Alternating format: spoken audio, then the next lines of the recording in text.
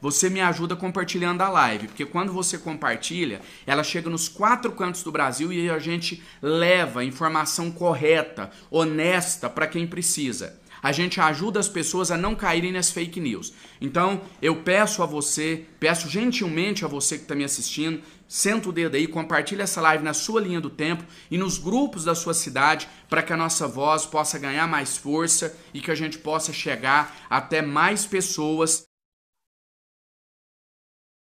Olá pessoal, boa tarde. Estamos aqui de volta mais uma vez, trazendo para você mais um vídeo, trazendo para você mais uma informação do INSS e se você ainda não é inscrito aqui no canal, clique aqui abaixo, se inscreva, deixe o seu like, deixe o seu comentário e se puder também compartilhe aí o nosso vídeo. E vamos para a informação que diz assim: grana extra será liberado com um novo cartão para aposentados e pensionistas neste mês de julho. Um novo cartão de crédito para aposentados e demais grupos tende liberar ainda mais dinheiro para essas pessoas. A proposta está em discussão e em breve mais informações quanto a ele que serão divulgadas. Confira o que já sabe sobre esse novo produto. O Congresso Nacional votou de forma favorável a medida provisória 1106, que aumentou a margem para consignados no dia 29 de junho. A Câmara dos Deputados aprovou a MP e diversas emendas contidas nela. As emendas são textos incluídos para que mais vantagens possam ser usufruídas pelo público-alvo.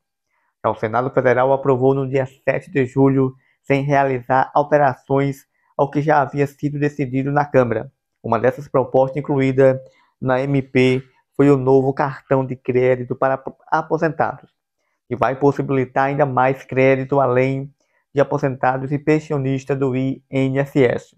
O novo cartão de crédito vai beneficiar quem ganha também o BPC.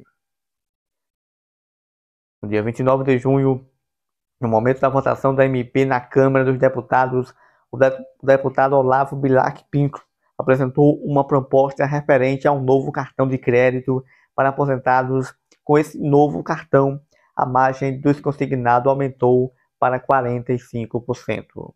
Dessa forma, são 35% para retirar empréstimos consignados e 5% para o cartão de crédito consignado e 5% para um novo cartão de crédito voltado para aposentados, pensionistas e quem recebe o BPC. Contudo, não há previsão de liberações para outros grupos que também têm acesso ao consignado.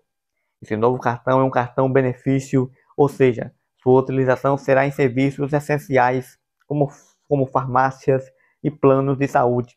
Para que comece a valer, está aguardando a promulgação oficial que deve ocorrer em breve. Para garantir o aviso assim que esse cartão do benefício sair, se inscreva no nosso canal para mais notícias como esta.